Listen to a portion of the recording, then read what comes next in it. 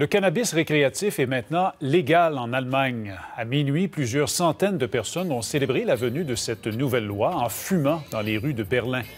Un adulte peut avoir en sa possession 25 grammes de cannabis séché dans les lieux publics.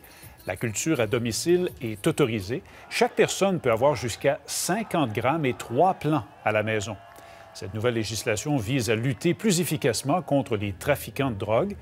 Par contre, les Allemands devront attendre encore trois mois pour acheter légalement de la drogue dans des boutiques similaires à la SQDC.